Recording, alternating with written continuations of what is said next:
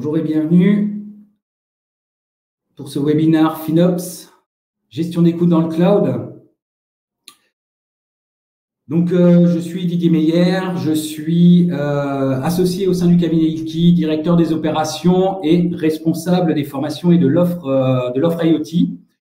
Donc, c'est moi qui vais animer ce webinaire autour de la problématique FinOps. La problématique FinOps dans laquelle je suis tombé il y a déjà plusieurs années, on va dire, pour ne pas paraphraser et utiliser une image bien connue de la bande dessinée euh, française, gauloise même. Je suis tombé dedans étant petit euh, dans la problématique du FinOps, notamment pour la gestion des coûts dans le cloud. Mais bon, avant de commencer, avant de continuer, je vous propose euh, de regarder ensemble une petite vidéo présentant le groupe M2I Formation. Et je, vous, je reviens juste après pour après cette présentation du groupe, cette petite vidéo, pour démarrer et parler FinOps avec vous. À tout de suite et bonne vidéo.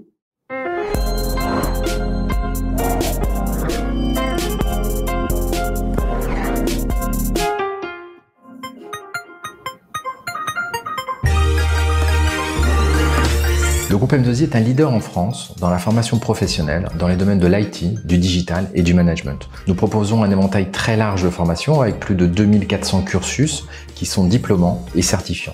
Nous sommes présents sur toute la France avec plus de 35 agences. Depuis le début de la crise sanitaire, nos formateurs ont pris le virage de l'animation à distance en étant innovants et en revoyant l'ensemble de leur savoir-faire pour les adapter au distanciel. Nous avons accompagné plus de 500 d'entre eux dans cette démarche. L'ADN d'M2I, c'est d'aider nos clients à faire émerger les talents de leurs collaborateurs, de leur permettre de monter en compétences, de libérer leur potentiel et de développer leur intelligence collective. Chez M2I Formation, le collectif est une notion très importante. Régulièrement, les collaborateurs suivent des formations, ce qui permet de développer le leadership de certaines personnes et surtout de trouver des talents.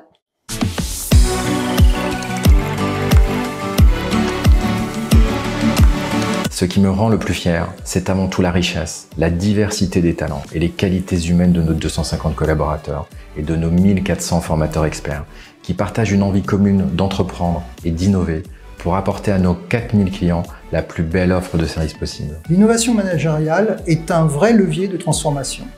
Deux exemples.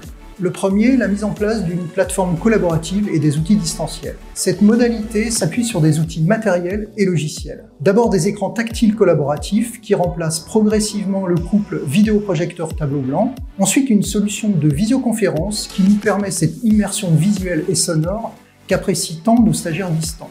Ces outils ont transformé le management en gommant les contraintes du management traditionnel.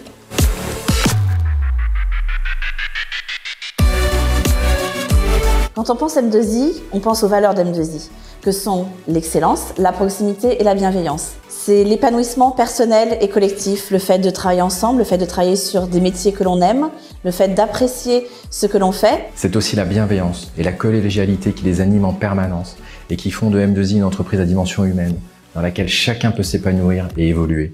Et cela se traduit par un turnover chez nous quasiment nul. Comme l'a si bien dit ma collègue Corinne, le bonheur au travail est une source de productivité.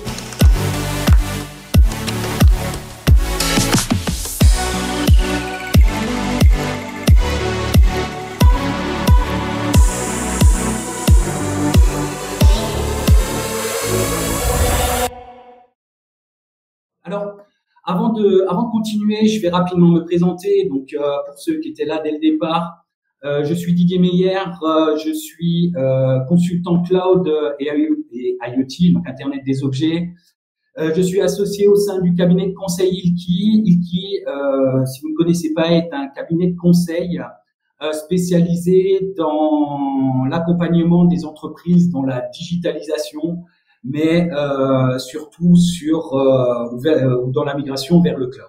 C'est-à-dire on accompagne nos entreprises, nos clients, donc dans le secteur public, secteur privé, dans l'adoption du cloud, dans la digitalisation, autour de nos trois principales activités, qui sont le conseil, qui correspondent à peu près à 40% de notre, notre chiffre d'affaires, l'architecture, donc on garde la main dans le camping de manière globale, euh, qui correspond à peu près à 40% également de notre chiffre d'affaires et 20% autour de la formation qui correspondent en fait aux résultats hein, du conseil et de l'architecture, c'est-à-dire toutes les formations que nous proposons sont issues de nos expériences de conseil et d'architectes dans les domaines de l'IT autour du cloud, des infrastructures cloud natives et euh, des infrastructures virtuelles de manière plus globale et plus générale. Euh, voilà. Donc voilà un peu qui nous sommes, voilà un peu qui je suis. Vous avez mes coordonnées également, donc euh, vous pourrez poser vos questions euh, pendant ce webinaire. donc je suis le chat, le fil de discussion. je vous laisserai un espace à la fin de chaque chapitre également pour que vous puissiez poser vos questions de manière un peu plus spécifique par rapport au chapitre. Et à la fin, je pense qu'il nous restera à peu près 10, 10 bonnes minutes euh, où euh, vous pourrez poser vos questions. J'essaierai de répondre à, vos questions et en cas de besoin, euh, n'hésitez pas non plus. Vous avez mes coordonnées pour, pour me contacter. Donc, nous sommes partenaires de, de M2I et dans ce cadre-là, ben, j'anime ce matin un, un, webinaire, ce webinaire autour de FinOps, qui est quelque part un peu une passion pour moi. Comme je vous le disais au début, ce qui était là au début, je suis tombé dedans depuis 2013 réellement, 2013-2014, dans cette problématique de gestion des coûts du cloud. Alors, qu'est-ce qui nous attend au menu de ce jour, de ce matin? Euh, bah, Le sommaire, c'est déjà, on va revenir un peu sur la définition du cloud et surtout, on va redéfinir les enjeux pour la gestion euh, des coûts du cloud. Donc, quelque part, répondre à la question pourquoi, dès le départ, euh, dès euh, les premières définitions du cloud, on pouvait dès le début savoir que la gestion des coûts allait être un enjeu majeur dans l'adoption du cloud et dans la bonne gouvernance hein, des ressources dans le cloud. Il faut également, dans un second temps, comprendre l'éventail hein, des services dans le cloud, vraiment comprendre ce qu'est le cloud, mais également voir comment on consomme hein, aujourd'hui les ressources dans le cloud. Euh, je vous proposerai une approche par modèle de service et vous donner les principaux coûts, euh, associés. Alors, on rentrera pas dans les détails des cloud providers ou des solutions de cloud providers, mais l'idée, c'est vraiment de rester cloud agnostique au cours de ce webinaire euh, pour permettre de euh, d'avoir, on va dire, les grandes, euh, les grands, on va dire les, grandeurs et avoir les principaux points qu'il faut prendre en compte pour comprendre la tarification et comprendre d'où viennent ces coûts. Une fois qu'on a vu ça, euh, qu'on comprend un peu d'où viennent ces coûts dans le cloud, je vous propose également de passer par l'intégration de la dimension FinOps au sein de l'entreprise, c'est-à-dire voir que finalement le FinOps euh, ou intégrer FinOps euh, dans l'adoption du cloud, bah, il y a un peu de, job, hein, on va dire, à, faire au sein de l'entreprise. Et donc, bah, comprendre que l'adoption du cloud nécessite de mettre en œuvre des process, des procédures, d'organiser des équipes FinOps hein, au sein au sein de l'entreprise. Je ferai un petit passage euh, après ces aspects, on va dire, un peu plus opérationnels, organisationnels, structurels euh, liés au FinOps au sein de l'entreprise, par une question qui est, qui est, souvent posée, est-ce qu'on fait du FinOps by design euh, ou du FinOps after design? Donc, vraiment voir les avantages et les inconvénients, je dirais, de, de, de ces deux approches qui finalement sont très complémentaires. Mais bon, on verra un peu, on en discutera si vous le souhaitez par la suite. Et enfin, terminer sur quelles compétences nécessaires pour pouvoir réaliser du FinOps au sein de votre entreprise. Donc, quelque part un menu quand même relativement long. Euh, J'espère qu'il vous met en appétit euh, dès à présent. Et je vous propose de commencer, euh, de continuer par une rapide introduction pour que euh, on soit tous euh, sur les mêmes sur la même définition. Donc finalement, le cloud computing euh, a été euh, définie, première définition par le NIST, hein, donc National Institute of Standard and Technology, en septembre 2011. Donc finalement, on est sur quelque chose qui est défini et qui a été normalisé par l'ISO en 2014. Donc finalement, on est déjà sur des technos quelque part normalisés de moins de 10 ans. Donc euh, moi, quand je vous dis, je suis tombé dans la marmite du FinOps, du cloud du FinOps très tôt, c'est-à-dire dès 2013-2014, dans des premiers projets de cloud privé. Bon voilà, euh, c'est euh, dès le départ. Donc finalement, la définition du cloud, c'est cinq caractéristiques, quatre modèles de déploiement, trois euh, modèles de service. Donc les trois modèles de service, hein, on les connaît classiquement du SaaS, hein, donc le software as a service, le PaaS, platform as a service, le IaaS, platform as a service, euh, le IaaS, infrastructure pardon, as a service. On a quatre modèles de déploiement également, donc le cloud privé, j'en ai déjà parlé. On a le cloud public, donc un, typiquement hein, tout ce qui est accessible euh, par tout le monde. On a également ce qu'on appelle un cloud communautaire. Hein. c'est quand euh, vous avez plusieurs structures qui utilisent les mêmes ressources pour un, pour un usage communautaire, donc avec un intérêt commun. Donc on parle de cloud communautaire et on parle également de cloud hybride, donc d'hybridation, qui est euh, la mise en commun cohérente. Hein. il y a vraiment une cohérence quand on va parler d'hybridation entre un cloud privé et un cloud communautaire euh, ou un cloud public. Donc voilà un peu les quatre modèles de déploiement, souvent connus, trois modèles de service. On a l'habitude hein, de travailler euh, et de comprendre ce que ce que c'est.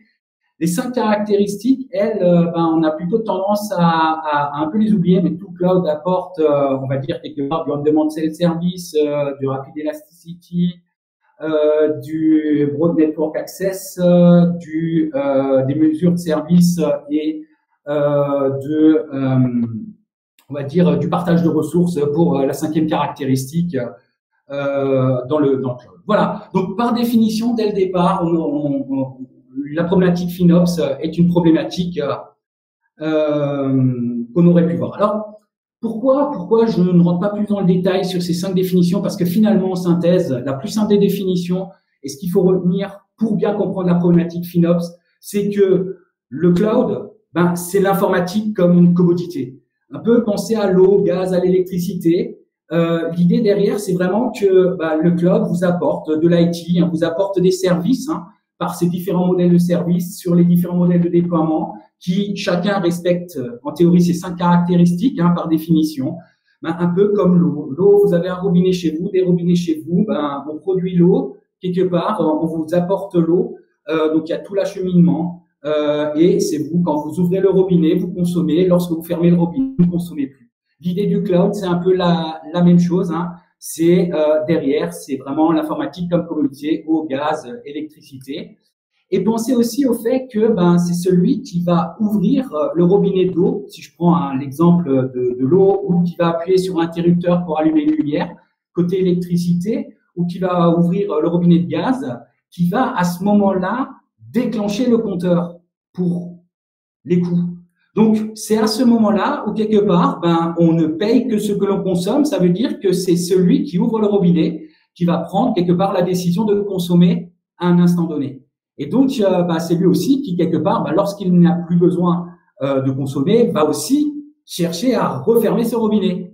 Et donc, ben, quelque part, euh, ben, on va avoir cet aspect de cloud de consommation à la ressource, c'est-à-dire on part du principe que le fournisseur peut fournir tout ce que l'on demande, ou électricité, gaz, hein, on part de ce principe. On se moque de savoir comment le service est conçu et opéré. Donc ça, c'est la problématique du cloud provider, tout comme la problématique de la création d'électricité, génération d'électricité, euh, la récupération de l'eau et ainsi de suite. Et on partage des ressources avec euh, d'autres personnes, donc euh, le resource pooling, hein, donc la cinquième caractéristique, hein, le partage de ces ressources, également la mise en commun euh, au niveau de ces ressources. Donc rien que ça, déjà de base, par définition, bah, on a des problématiques liées à la gestion des coûts du cloud. Alors, finalement, quels enjeux pour la gestion des coûts du cloud? Parce que bon, on regarde ces caractéristiques, vous commencez à comprendre qu'on a des enjeux. Alors, très récemment est sorti ben, un sondage Flexera. Alors, c'est un sondage beaucoup plus gros, hein, donc euh, j'aime bien un peu euh, donner l'exemple du top 5 un des principaux challenges pour le cloud computing. On n'est pas encore aux enjeux, mais pour l'instant, on est au challenge. Donc, euh, c'est euh, de Flexera 2002, hein, donc euh, State of the Cloud Report. Donc, si vous si vous regardez, vous pouvez aller le chercher. Donc, en gros, la question a été posée aux, aux entreprises quels sont les principaux challenges pour le cloud computing? Ce qui est intéressant de voir, c'est que bon, la sécurité reste en tête, hein, 85% des répondants, mais surtout regardez le troisième et regardez le cinquième également. Le quatrième aussi. Euh, donc le troisième, c'est la gestion des coûts du cloud. Euh, c'est 81% des répondants qui ont dit que un des challenges à venir, donc en 2022, ce sera la gestion des coûts du cloud. Euh, si vous y associez la gestion des licences qui fait partie, on va dire, de la gestion des coûts et que euh, la gestion des coûts fait partie des problématiques de la gouvernance, bah, finalement, bah, vous regardez que bah, on a euh, derrière derrière cette gestion des coûts du cloud, derrière la gestion des licences logicielles dans le cloud, des problématiques euh, liées au coût. Et donc, FinOps est un challenge à venir pour beaucoup d'entreprises, pour beaucoup de, euh, de, comment dire, euh, d'associations, de collectivités, d'organismes administratifs ou autres dans l'adoption du cloud. Donc finalement, quels enjeux pour la gestion des coûts du cloud Et j'ai essayé de sortir de manière un peu plus spécifique ce, euh, les enjeux qui ont un lien avec les coûts. Donc euh, bah, le premier, finalement, pour euh, l'adoption du cloud, c'est améliorer le rapport. Et là, euh, je suis assez précis, le rapport coût-efficacité, donc le cost effectiveness hein, des services. Donc quelque part, hein, c'est pas parce qu'on accompagne les entreprises vers le cloud qu'on pousse, pousse, pousse systématiquement euh, l'adoption euh, du cloud, tous les services le cloud. Non, l'avantage réellement et les enjeux hein, pour euh, pour la gestion des coûts dans le cloud et les enjeux de l'adoption également du cloud, c'est vraiment d'améliorer le rapport coût-efficacité. C'est-à-dire chercher quelque part à privilégier les coûts de fonctionnement par rapport aux coûts d'investissement. Ça aussi, c'est une solution. Hein, donc, diminuer les investissements tout en améliorant la mise à disposition d'un service, Profiter également des coûts d'investissement plus bas du provider, hein, parce que lui aussi euh, a des, on va dire, il y a des niveaux d'échelle, hein, on va dire en termes d'investissement par rapport à du matériel à disposition, mais surtout également euh, pouvoir profiter de l'élasticité du cloud, c'est-à-dire cette capacité euh, à pouvoir, un peu comme ben, quand vous, vous, avez besoin d'eau, vous ouvrez le robinet, ben, il y a l'eau qui coule, vous utilisez l'eau, et quand vous ne l'avez plus besoin, c'est de refermer ce robinet d'eau et donc d'arrêter de consommer. C'est vraiment ce coût-efficacité, c'est-à-dire disposer complètement de la souplesse dans l'évolution des services, que ce soit à la hausse, donc euh, de l'upscaling, hein, ou à la baisse, hein, du downscaling, donc euh, de l'élasticité euh, horizontale ou verticale, hein, de manière générale, dans le principe de Evolving as a Service, hein, donc UXAS, donc pouvoir arrêter quand j'en ai plus besoin, démarrer un service quand j'en ai besoin et ne le payer que au moment où je vais en avoir besoin.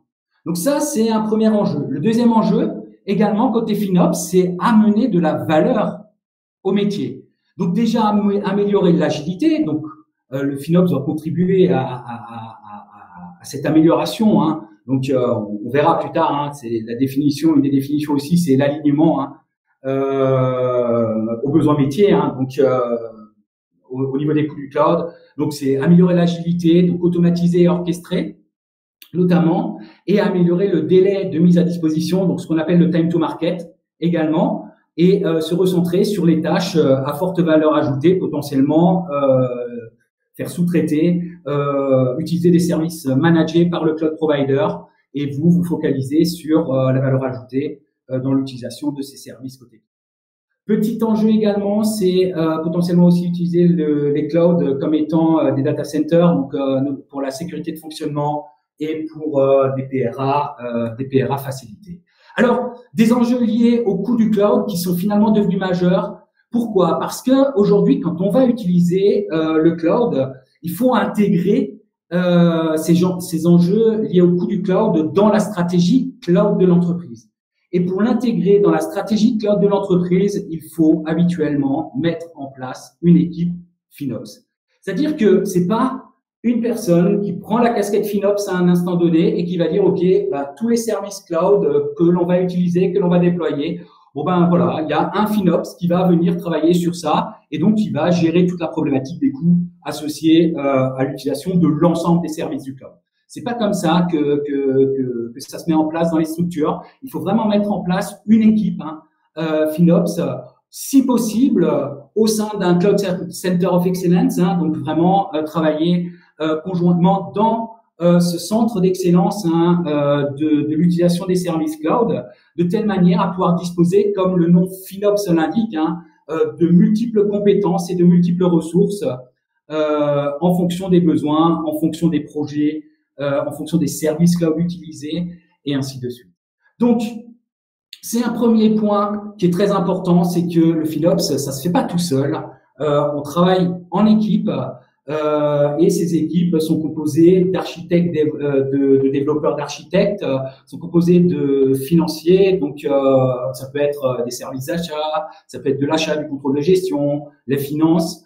Il y a également derrière, bah, forcément, euh, on va dire, de euh, les métiers, hein, donc les différents métiers qui participeront à cette équipe FinOps. Et vous allez également avoir dans cette équipe FinOps ben, des décideurs qui, eux, euh, vont pouvoir et devoir trancher parfois quand il y a des compromis à faire entre coûts, architecture, euh, sécurité, performance, et ainsi donc finalement, on a ces premiers enjeux qui sont liés à l'organisation au sein de l'entreprise, un changement de modèle de coût également, donc capex versus opex, hein, donc quelque part euh, investissement versus euh, charge, donc amortissement versus euh, charge opérationnelle.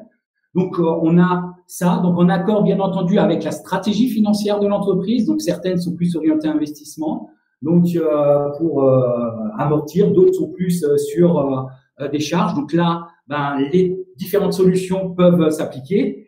Euh, donc, il faut prendre en compte euh, cette stratégie financière de l'entreprise.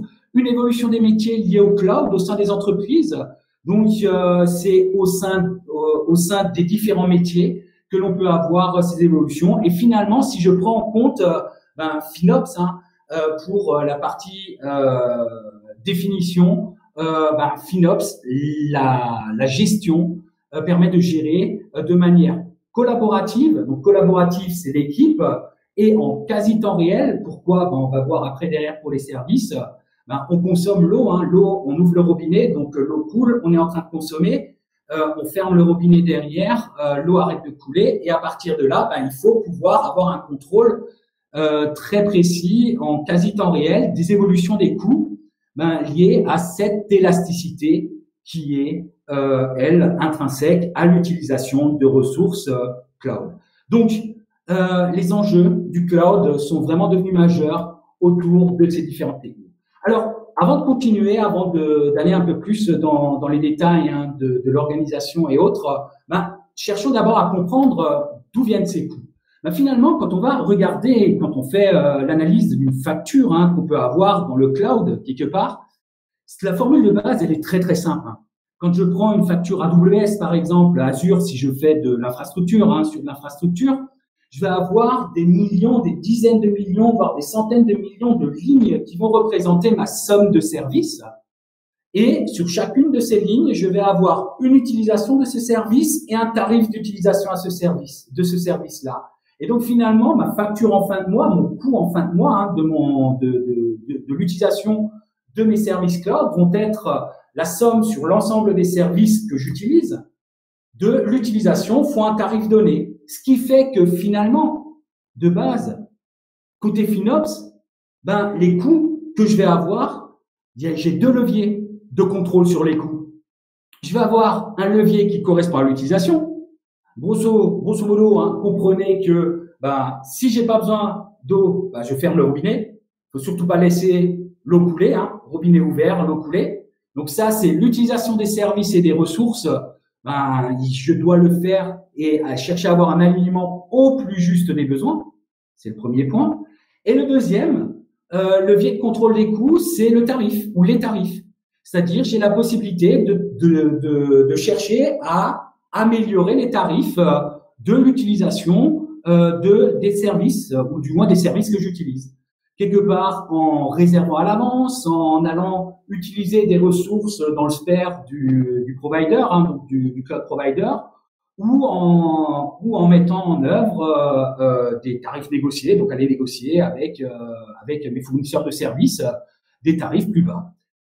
La problématique, ou du moins quelque part la complexité, elle, va venir de différents points quand on va parler de facturation dans le cloud ou d'être dans cette complexité de cloud. Déjà, les quantités et les significations euh, qui sont euh, cachées derrière les différents services, ben, dans les termes de l'équation, sont souvent très variées par rapport aux utilisations. Donc, euh, une petite liste non exhaustive, hein, le stockage objet, du compute, donc du serveur, du processeur, de la, de, la mémoire, des bases de données, des services d'intelligence artificielle, des fonctions, des applications, des logiciels. Bon voilà, il y a une diversité de services euh, qui est très forte avec, même pour chacun des services, différents sous-ensembles euh, qui vont être euh, facturés. Je prends par exemple, si, je lance une instance, je lance un serveur hein, sur le cloud, ben, je vais avoir une facturation de l'instance, mais facturation associée, je vais avoir du trafic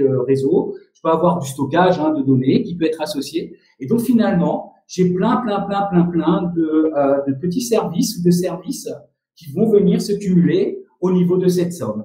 Et l'autre point aussi, c'est les tarifs. Des exemples, ça peut être de l'euro par gigaoctet ou des dollars par gigaoctet, des, des, euros par gigaoctet par seconde, des euros par gigaoctet seconde, des euros par heure, par seconde, par milliseconde, des euros par utilisateur, par exemple, hein, pour euh, des applications SaaS. Donc finalement, quand on regarde ces principes de base de la facturation dans le cloud, ben, il faut comprendre l'éventail des services dans le cloud et les coûts associés pour bien comprendre ce qu'on va finalement avoir au niveau des coûts dans le cloud et avoir au niveau de la facture finale en fin de mois euh, lorsqu'on va devoir euh, la payer. Donc, il y a une forte variabilité des tarifications des services dans le cloud, notamment c'est inhérent au modèle hein, de consommation du cloud, c'est du pay as you go, hein. c'est vraiment vous payez à l'usage hein, ce que vous utilisez, et ça, c'est dépendant à la fois du modèle de service, le SaaS est différent de la plateforme, hein, du PaaS qui est différent du CAS qui est différent donc euh, du conteneur as a service qui est différent du GAS, hein, de l'infrastructure as a service. Ça dépend aussi du type de service utilisé, ça dépend de la gestion du service. Est-ce que c'est vous qui gérez le service? En gros, vous avez un serveur, vous faites toute l'installation dessus, vous gérez tout, ou est-ce que vous déléguez euh, la, la, gestion de ces services à un cloud provider, donc faire appel à des services managés? Ou même utiliser d'autres types, euh, d'autres types de fonctions. Et donc là, la tarification, la méthode de tarification va évoluer en fonction de, de, tout ça. Donc finalement, si je synthétise, avant de rentrer un tout petit peu plus dans le détail SaaS, PaaS, CAS, la complexité, elle, vient principalement avec, un, une très grande quantité de services cumulés. Lorsque vous avez bah, tous les services euh, cloud, SaaS, euh, donc vos applications, les plateformes que vous pouvez utiliser, les infra que vous pouvez utiliser, et toute la diversité des services, ben, on a cette grande quantité de services, une grande diversité de services consommés. Euh, en diversité, la capacité à suivre les dépenses en quasi temps réel, également avoir les bons tableaux de bord, remonter l'information en temps et en heure, pouvoir euh, la mettre en forme, en gros avoir la bonne visibilité sur l'utilisation de vos ressources euh, dans le cloud et derrière la capacité à modéliser et anticiper les dépenses à venir, c'est-à-dire à pouvoir projeter vos coûts futurs dans le cloud. Alors, derrière ces complexités, en gros, hein, le FinOps doit pouvoir répondre à ces complexités. Alors, pour donner quelques éléments de réponse déjà sur les deux premiers, je vous propose ben, de passer SaaS, IaaS, en passant par du PaaS, CAS, CAS, FAS, donc déjà, ces différents modèles de services. Et ensuite, ben, on regardera un peu organisation, puis on, donc euh, dans l'organisation, ce qui permet de créer de la visibilité par la suite, et on regardera également les compétences nécessaires pour. Alors, les mécanismes simples du SaaS. Souvent, le SaaS, on se dit que c'est simple. Pourquoi? C'est par unité de temps. On va payer au mois, par utilisateur par mois, par consommation effective du service. Exemple, hein, j'ai des services de stockage euh, objet, bah, c'est au gigaoctet par mois. Souvent, c'est très simple hein, côté SaaS. Souvent accompagné de coûts optionnels complémentaires, du support, des services professionnels et ainsi de suite, hein, que vous pouvez avoir euh, côté côté SaaS. Alors attention, la difficulté vient beaucoup plus dans la contractualisation, hein, on va dire euh, côté SaaS, et le déport de la complexité de la mise en œuvre côté métier plutôt que côté côté IT quand on, quand on est côté SaaS. Bon bref, tout ça faut aussi l'avoir à peu près en tête. Ah, euh, et donc du SaaS d'un côté, hein, dans la définition, pour arriver en bas jusqu'à l'infra, au mécanisme beaucoup plus complexe hein, de l'infrastructure. Donc euh, les contextes d'utilisation, c'est du pay per use, hein, donc vous payez quand vous utilisez, mais vous avez également du pay less euh, by using more, c'est-à-dire plus vous allez en utiliser, plus vous allez utiliser euh, des ressources, moins vous allez les payer cher à l'unité, hein, par exemple. Donc ce sont des remises sur volume pay even less when you reserve. Donc, si je m'engage à utiliser des ressources pendant une certaine durée en termes de temps, je vais encore avoir des réductions possibles. Du custom pricing, hein, donc euh, chercher à négocier directement. Si vous avez de très gros volumes, ben, je vous encourage fortement à aller négocier directement avec vos fournisseurs de services. Et notamment aussi y a la structure, le compute environment, donc le, stockage, euh, les content delivery, web content delivery, donc les CDN, euh, les bases de données, euh, la mise en œuvre de, de PRA, euh, ou de PRI, un hein, disaster recovery plan, etc., etc., etc. Donc, quand on va travailler avec le IaaS, souvent c'est plus complexe euh, en termes de mécanismes euh, et comprendre, les mécanismes de facture. Les plateformes, elles, en gros, hein, des plateformes pour des développeurs, hein, quelque part, qui vont à la fois gérer l'environnement de développement, mais proposer euh, des services euh, web ou des applications en mode SaaS, et provisionner quasi automatiquement les ressources sous-jacentes hein, en termes de plateforme, bah, c'est lié finalement à ces ressources sous-jacentes utilisées dans le. Il peut y avoir des coûts de licence euh, spécifiques hein, associés. Vous pouvez également avoir euh, du support et de la maintenance pour certaines plateformes. Bon, on est plus sur un, sur, sur un modèle euh, application avec le paiement à la ressource utilisée, utilisée sous-jacente. Quand on va parler de CAS, hein, donc le CAS, c'est les conteneurs as a service. On parlera plus de conteneurisation ou même d'orchestrateur. On verra, je fais volontairement la différence hein, dans ce webinaire entre CAS avec un C et euh, CAS avec un K pour différencier un, conteneur. Euh, la conteneurisation avec les orchestrations d'infrastructures type Kubernetes.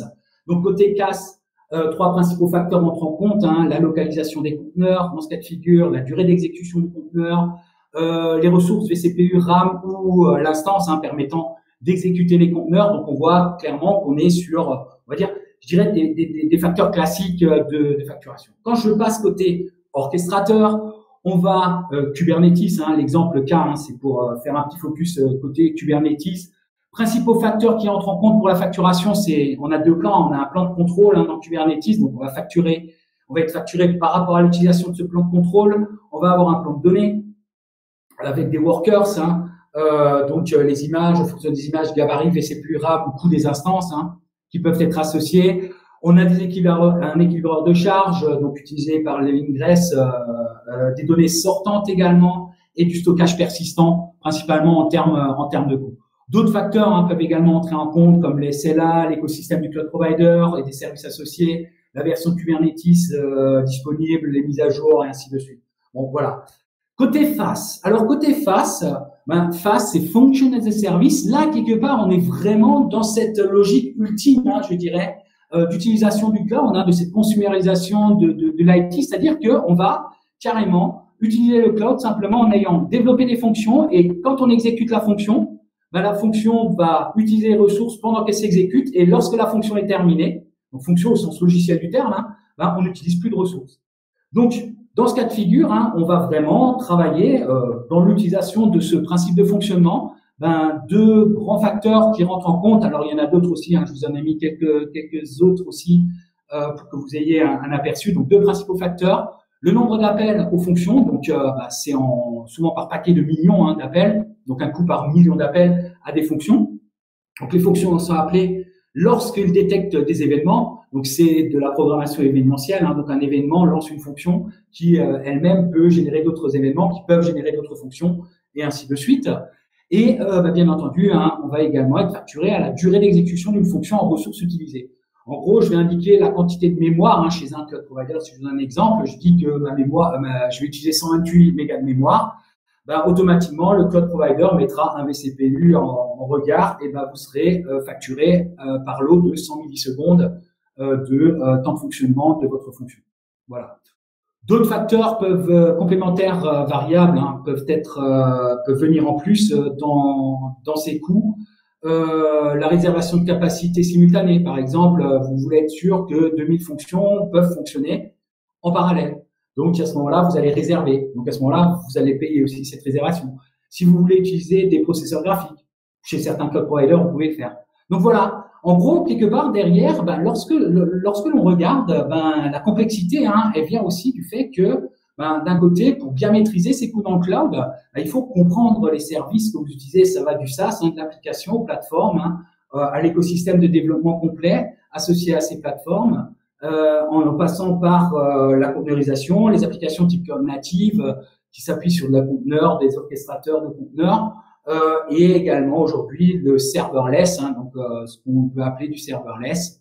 Euh, côté face, un function as a service euh, qui va euh, encore apporter d'autres modèles. Donc, il faut déjà comprendre comment on utilise le cloud. C'est ce que j'ai voulu vous, vous, faire comprendre, on va dire, dans cette dans ce premier chapitre. Alors, est-ce qu'il y a déjà une ou autre des questions par rapport à ce premier chapitre? Oui, Virginie. Il y a des outils. Hein. Les cloud providers proposent euh, leurs propres outils. Ils ont des, alors quand je parle d'infra, hein, principalement, euh, des costs, euh, on va dire des, des outils qui permettent d'estimer les coûts en amont, donc des calculateurs, hein, typiquement. Mais vous avez également, après, pour suivre les coûts dans le cloud, vous avez les cloud providers qui vous proposent des outils, leurs outils, mais vous avez également des outils d'éditeurs tiers euh, bah, j'allais j'allais vous répondre à ça. Quand on quand on va euh, chercher à voir les coûts sur de l'hybridation, par exemple, euh, on a du privé, du public, donc une infrastructure on-prem hein, potentiellement chez soi et euh, côté cloud, ben, on peut utiliser par exemple des, CMP, donc des, outils d'éditeurs tiers, un connu ou du moins des certains qui sont connus, hein, des Flexera, des CloudElse ou Cloudability ou autres hein, solutions qui peuvent exister, qui vous permettent d'avoir de la visibilité dans des contextes multi-cloud et cloud hybrid également. Alors, euh, Yann, euh, pour en avoir utilisé un pour le coup, euh, il se connecte via API au niveau des cloud providers, récupère la tarification et peuvent à ce moment-là vous aider à voir. Et pour, donc ça c'est en, estimation hein, de coût, et en coût, ils vont récupérer les éléments de facture donc du, des cloud providers. Donc, vous montreront les données issues des cloud providers. Donc, la réponse serait plutôt oui. Voilà. Je vous propose de continuer. Vous aurez encore des espaces euh, d'échange par la suite euh, pour euh, ben, l'intégration finalement de cette dimension FinOps au sein de l'entreprise. Vous avez compris que finalement maintenant l'utilisation du cloud, simplement l'usage du cloud, hein, que ce soit par définition ou l'utilisation par l'ensemble des équipes IT, par les métiers également de ressources cloud, ben, vont forcément apporter une modification d'usage qu'il va falloir prendre en compte. Donc, l'intégration de la dimension FinOps au sein de l'entreprise, en fait, vers une gouvernance renforcée. Il faut renforcer votre gouvernance. Pourquoi FinOps? Ben, cette notion de FinOps, hein, donc de gestion financière, de maîtrise des coûts du cloud, devient progressivement un métier au sein de l'entreprise. On va parler de FinOps Engineers, de FinOps Practitioners, de FinOps Managers. Vous pouvez, j'ai mis trois petits points, vous pouvez avoir plein de noms différents euh, au sein euh, au sein de l'entreprise. Mais ce qui est important de comprendre, c'est que au sein de cette équipe FinOps, hein, au sein des équipes FinOps, comme je vous l'avais déjà présenté, c'est au-delà de ça, il faut adapter vos modèles opérationnels et organisationnels aux évolutions de ces usages internes. Autrement dit, il faut responsabiliser vos équipes techniques par rapport au coût des services du cloud. Pourquoi? Parce que bah, dans, dans cette élasticité que vous avez, c'est-à-dire le robinet, ben, c'est comme si vous mettiez à chacun de vos développeurs, à chacun de vos architectes, à chaque métier potentiellement hein, pour des applications, ben, vous mettez un robinet ou un interrupteur hein, pour la lumière. C'est eux qui ouvrent le robinet, qui ferment le robinet suivant les besoins. Ça veut dire qu'il faut responsabiliser à tous les niveaux tous ceux qui potentiellement peuvent lancer une ressource dans le cloud et utiliser cette ressource dans le cloud. Il faut les responsabiliser sur le fait que, ben, s'ils n'éteignent pas, quand ils n'en ont plus besoin, d'une certaine manière, ça risque de coûter très cher par la suite. Donc, il y a une sensibilisation à faire. On en reparlera juste dans le paragraphe après, qui est une pratique culturelle hein, dans le cloud. Donc ça, c'est déjà, il faut responsabiliser chaque utilisateur finaux quelque part sur le fait que, ben, c'est eux qui finalement utilisent des ressources qui ne sont pas quelque part achetées en amont, comme dans le modèle privé, hein, je dirais, on achète son infrastructure et après, ben, on met à disposition quelque chose qui, quoi qu'il arrive, est déjà acheté, quoi qu'il arrive, est déjà, entre guillemets, payé. Donc, c'est vraiment jouer sur cette élasticité où il faut mettre en place cette, cette culture. Donc, forcément, il faut faire révoluer les procédures organisationnelles et opérationnelles au sein de l'entreprise. C'est-à-dire que derrière, ben, il faut accompagner tous les utilisateurs et leur donner une gouvernance, des règles de gouvernance spécifiques. Déjà, un, à l'utilisation du cloud, ce qui se fait classiquement dans les CCE, mais il faut, au sein de ces règles de gouvernance, apporter des compléments d'informations qui sont liés à l'utilisation ou au coût du cloud. C'est-à-dire, automatiquement, penser à éteindre des ressources si ce sont des ressources de test, mettre en place ces règles spécifiques qui vont faire du bien au portefeuille, je dirais, euh, des coûts du cloud. Donc finalement, lorsqu'on regarde, on a cette équipe, au sein de cette équipe, on a euh, différentes personnes qui vont travailler autour des problématiques du cloud, donner de la visibilité, donner, euh, faire la, les imputations, optimiser les coûts. Bon voilà, il y a différents éléments euh, qui vont rentrer au sein de cette équipe, mais c'est un problème de tous, quoi. On va dire la gestion financière des coûts dans le cloud, c'est tout le monde qui doit être sensibilisé à cette problématique. Et donc, il y a obligatoirement une dimension complémentaire qui est une dimension de culture, de diffusion d'une culture FinOps au sein de l'entreprise. Il faut gérer les coûts liés à l'utilisation de ces services cloud. Quand on n'a plus besoin, ben, on résilie les ressources ou on arrête des ressources. Travailler de manière transverse avec les équipes DevOps et les financiers. Donc vraiment pour avoir des retours euh, côté côté financier euh, avec euh, les équipes et donc travailler de manière transverse. Hein, c'est vraiment anti-silo, hein, on va dire le FinOps. Vraiment travailler de manière transverse. Donner de la visibilité sur les coûts du cloud, c'est ultra important. Donner à vos architectes, donner à vos développeurs, à vos DevOps, à vos équipes DevOps, hein, si vous travaillez en équipe DevOps, donner de la visibilité sur leurs coûts, bon, suivant leurs besoins, bien entendu, mais ça permet de sensibiliser sur les coûts et ben, on est tous de bonne constitution. Hein. On va dire si on peut faire la même chose pour deux fois moins cher, je vois pas pourquoi, et que ça que ça réponde aux besoins, je vois pas pourquoi on paierait deux fois plus cher. Donc quelque part, il faut juste être conscient qu'on peut le faire deux fois moins cher. Donc ça, ben, créer, donner de la visibilité, apporter un support, apporter un conseil, apporter, on va dire, euh, euh, du, conseil FinOps à vos équipes de telle manière à ce qu'elles puissent optimiser l'utilisation et comprendre cette évolution de paradigme euh, de gestion financière des Colon Club. Et dernier point, prendre des décisions éclairées et transverses en fonction de multiples critères de décision. On en reparlera par FinOps by Design ou FinOps After Design qui vient juste là. Alors Hervé, pour votre question, ces outils s'appuient euh, sur les prix publics. comment faire pour des prix négociés Alors, euh, dans certains outils, vous avez la possibilité d'indiquer vos propres prix. Euh, pour celui que j'ai utilisé là, c'était un, outil de préparation euh, à la migration ou d'aide à la migration vers le cloud. Euh, J'avais aussi la possibilité de faire des simulations avec euh, des instances réservées, par exemple.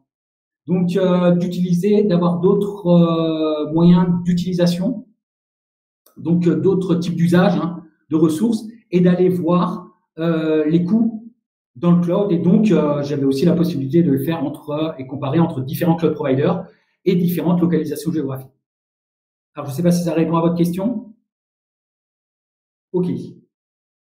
Donc, FinOps by Design versus FinOps After Design. Donc, vous avez bien vu que côté organisationnel, ben, finalement, ben, c'est celui ou celle qui euh, ouvre, ferme le robinet.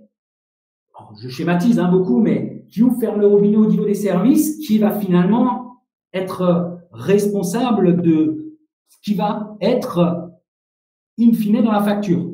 Donc, vous pouvez mettre en œuvre des procédures de délégation, d'autorisation, de, euh, euh, euh, d'achat hein, au niveau de vos équipes. Hein. Côté architecture, vous pouvez avoir des circuits de validation interne.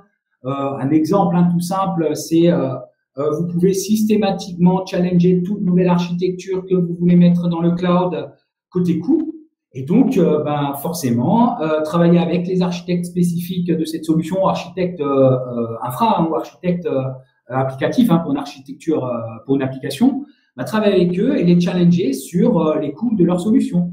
Et donc, travailler avec eux. Donc là, ben, quand on parle de ça, pour une solution que l'on va mettre en œuvre dans le cloud, c'est-à-dire qu'on va soit migrer vers le cloud. On a des architectures existantes on-prem, donc euh, chez nous, dans, une infra, qu'on va chercher à migrer d'une certaine manière vers le cloud. On va faire potentiellement du FinOps by design. C'est-à-dire, on va intégrer dès le départ la dimension financière avant de déployer, migrer une solution dans le cloud. Donc, ça, c'est vraiment euh, très, très, très important de le faire le plus tôt possible que ce soit déjà en termes d'estimation de coûts projetés dans le cloud, qui ne sont pas toujours évidentes à faire. Hein. Estimer des coûts dans le cloud, c'est pas évident, surtout si vous n'avez pas forcément de base de métriques sur laquelle vous appuyez pour voir ben, quels sont ben, les services réels, les quantités de données stockées, la, quantité de trafic réseau que vous allez avoir, euh, l'utilisation des charges euh, de compute que vous pourriez avoir. Euh, le nombre de fonctions que vous allez lancer, euh, la durée d'exécution d'une fonction. Bon, voilà. Si vous manquez des métriques au départ, ça reste des estimations. Donc, avec la complexité de ces estimations. Mais au moins, au départ, bah, vous ferez des architectures et vous construirez des architectures qui prendront dès le départ en compte cette dimension financière. Et prendre en compte cette dimension financière. Hein, les architectures retenues peuvent dépendre de cette dimension et donc vous pouvez optimiser a priori déjà ces coûts. Donc faire des choix et décider en fonction des coûts sur l'architecture cible d'une application, l'architecture cible d'une infrastructure qui accueillera une application type. Faire des choix également entre ben, service manager, serverless, pour euh, ou euh, directement gestion des instances, hein, donc des, serveurs.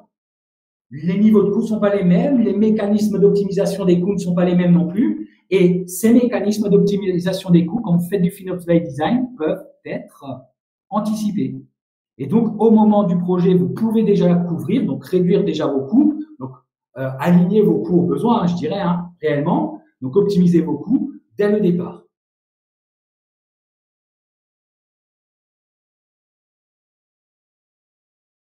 Je répondrai, euh, Lilia, euh, à votre à votre question juste à la fin.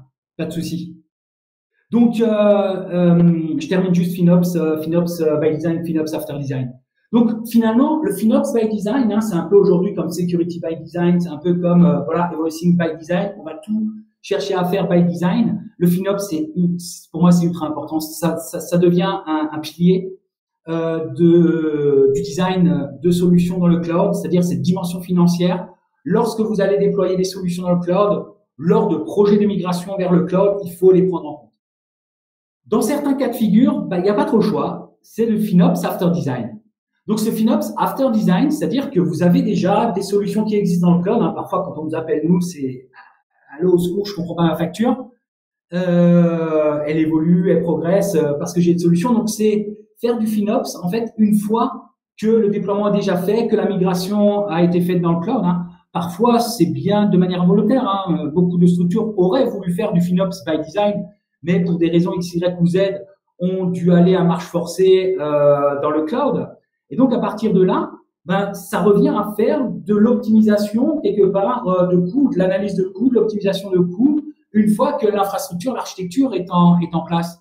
Mais de manière globale, ben, la dimension, cette dimension, hein, la décision aval, c'est-à-dire on a déjà nos infras, nos services qui sont déployés, et on va chercher à voir ben, l'usage de ces services, comment ils sont utilisés et potentiellement proposer, suivant l'évolution des solutions de facturation, de tarification d'un cloud provider, ben, essayer d'optimiser les coûts par rapport aux architectures existantes. Donc vous voyez bien que quand on va parler de FinOps by Design, j'entends souvent dire que il faut faire du FinOps by Design, FinOps by Design. Ok, oui, mais c'est pas pour autant qu'il faut pas faire du FinOps After Design. C'est-à-dire que ben, vous faites un premier design, FinOps by Design, ok, vous déployez. Mais vous pouvez aussi déployer et essayer de faire du FinOps After Design. Il n'y a pas de bonne ou mauvaise façon de faire. Il faut, quoi qu'il arrive, faire les deux.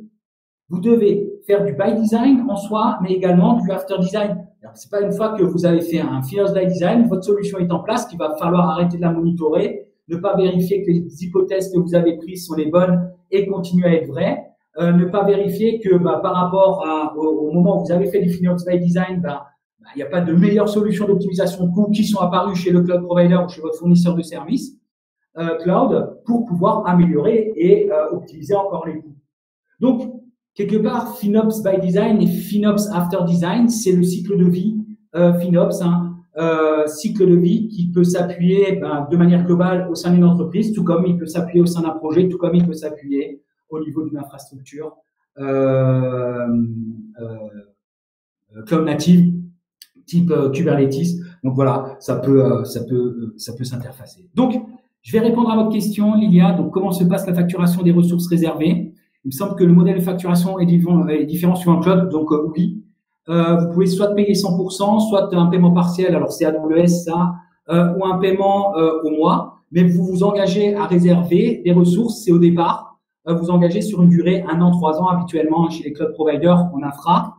en cas de cessation du contrat pendant la période en cours des ben, vous êtes engagé à payer, oui.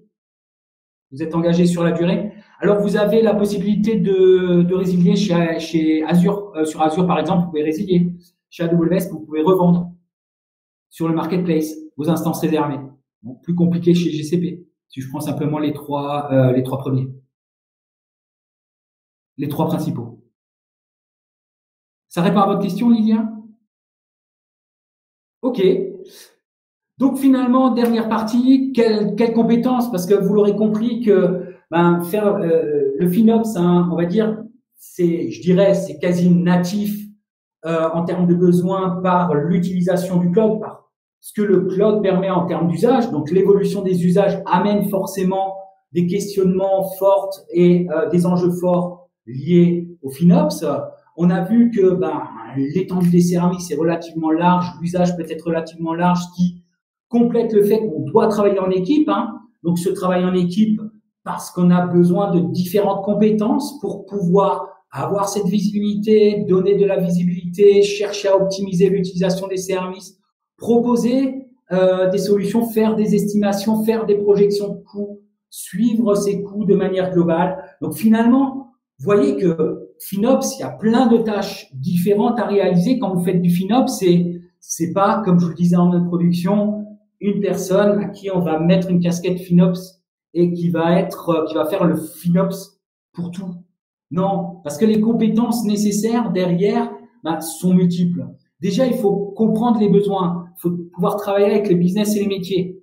Euh, il y a des besoins techniques et il y a des besoins financiers. Ça veut dire que bah, la compréhension des besoins, les financiers, on va dire euh, les DAF et, et, toutes, euh, on va dire toutes les directions financières, administratives financières, vont avoir, vont avoir des besoins pour leur comptabilité, vont avoir des besoins euh, pour euh, mettre en œuvre des stratégies financières au sein de la structure de l'entreprise, ben, il faut pouvoir travailler avec eux. Il faut pouvoir travailler avec euh, les architectes, les développeurs également. Il faut comprendre les besoins métiers également par rapport aux applications que vous pourriez leur proposer côté SaaS. Donc, il faut vraiment comprendre des besoins qui sont relativement larges. La capacité de communication et de rédaction, ben, la rédaction de documents, forcément, euh, la tenue de réunion, ben, au sein d'équipes, vous n'aurez pas toujours les mêmes personnes autour de la table et vous devrez travailler avec différentes équipes, différentes équipes DevOps si vous êtes euh, dans, organisé par équipe. Euh, tenue de réunion, oui, je l'ai dit, formalisation de process. Donc, euh, il faut faire évoluer les process et au fur et à mesure que ben, vous travaillerez de manière itérative, hein, le cycle de vie est itératif, hein, le cycle de vie FinOps sein d'une entreprise, ben, ce sont des itérations de plus en plus courtes, normalement, et donc, euh, ben, il faut chercher à formaliser les process, mais également pouvoir les automatiser par la suite. Il faut également être force de persuasion, parce qu'à un moment donné, et c'est pas, encore une fois, c'est pas méchant ce que je vais dire, mais quand vous allez demander à un architecte de faire potentiellement évoluer une infrastructure, une architecture, euh, parce que financièrement ça pourrait être plus intéressant, voilà, vous mettez quelque part en risque sur son architecture. Donc, il faut pouvoir euh, persuader, il faut pouvoir travailler avec ça, travailler avec eux. Donc avoir cette capacité de communication, de rédaction, euh, cette force de persuasion. Il faut pouvoir analyser et restituer des données. Donc il y a de très grandes quantités de données, euh, des logs, des coûts, euh, de l'utilisation, de l'usage, euh, qui peuvent varier suivant une très grande quantité de ressources utilisées. Donc des tableaux de bord et des dossiers d'analyse, avoir un esprit synthétique. Également comprendre les différents coûts, comprendre alors pas forcément comme pourrait le comprendre un architecte, l'usage ou l'utilisation des services, mais à minima, le comment du pourquoi du coup. Donc, euh, bah, quel est le levier hein, pour un service donné euh, pour pouvoir potentiellement comprendre le coût et pouvoir, bien entendu, gérer les budgets, euh, de la projection, des alertes, du suivi budgétaire à ce niveau-là. Alors, je continue sur quelles compétences pour le FinOps, compétences techniques d'ingénierie et ou de développement. Bien entendu, vous aurez besoin également de maîtriser la maîtrise des coûts des services cloud, maîtrise des services cloud et des architectures, développement de l'automatisation d'analyse de coûts et de comportement de services cloud. Donc là, on est vraiment sur des compétences techniques, soit liées aux services cloud eux-mêmes, soit liées à à l'automatisation et l'industrialisation de vos propres process FinOps au sein de la structure, en utilisant des outils tiers ou en développant vos propres outils et, en, ou en vous appuyant sur les outils proposés par les cloud providers.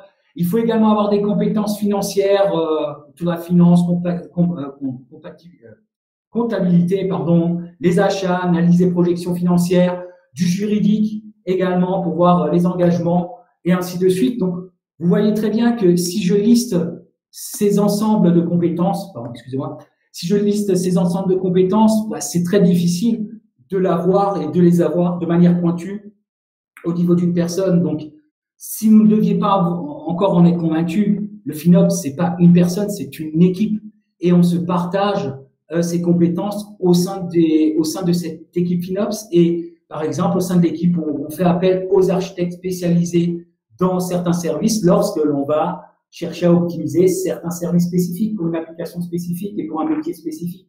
Et à ce moment-là, on met autour de la table les bonnes personnes avec les bonnes compétences euh, pour pouvoir travailler FinOps et pouvoir parler FinOps au sein des équipes.